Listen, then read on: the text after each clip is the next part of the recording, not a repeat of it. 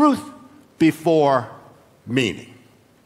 You must determine the truth in your data before you derive meaning out of it. It is not chicken or egg here, it is egg and omelet. If you do not have the truth in your data, you will not get the meaning that you're looking for. When I say determining the truth, it's those exercises like data management, data governance, data stewardship, data quality, master data, reference data, metadata, MDM, RDM, PIM, RIM, DAM all those foundational activities that you know and I know you need to do to steward and govern and distribute that core content all across your enterprise.